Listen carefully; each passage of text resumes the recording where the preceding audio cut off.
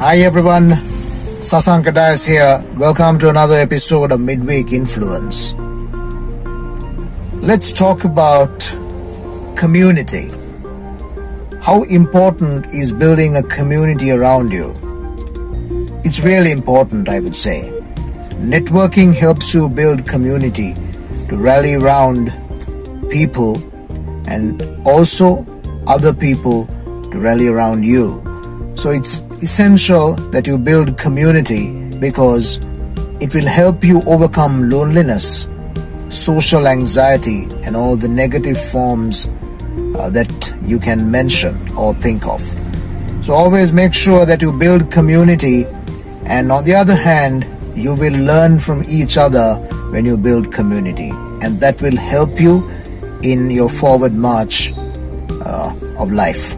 So make sure that you build community and build that trust among your community and move forward.